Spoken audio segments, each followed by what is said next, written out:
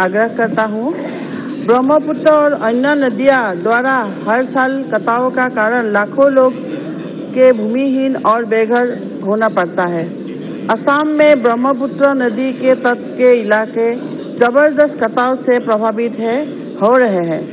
लगातार हो रहे कटाव के राज्य की करीब चार हज़ार वर्ग किलोमीटर भूमि का शरण और सुका हो चुका है और इससे करीब पच्चीस हज़ार गाँवों में बसे पचास लाख से ज़्यादा लोग प्रत्यक्ष एवं अप्रत्यक्ष रूप से प्रभावित हुए हैं।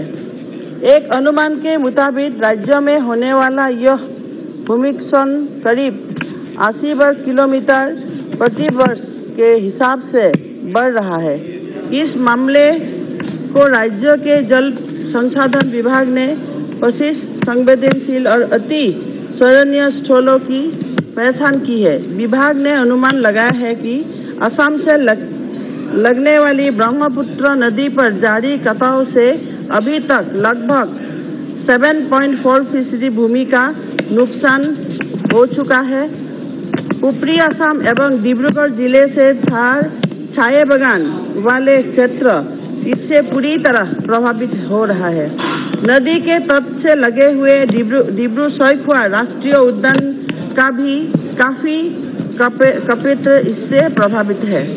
अतः आपके, आपसे निवेदन है कि इस गंभीर समस्या से निपटाने के लिए कोई कार्य समूह को गठित किया जाए और एक अध्ययन कराकर जल्द से जल्द ठीक कार्रवाई करने हेतु संबंधित विभागों को निर्देश जारी किया जाए जिसमें आम जनता को इस गंभीर समस्या से निपटाने के जा सके।